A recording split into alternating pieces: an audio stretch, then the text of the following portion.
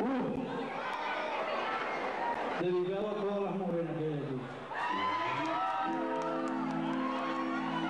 Yo soy muy tímido para hablar, pero todo lo que no me atrevo a decir, hablando, lo digo cantando.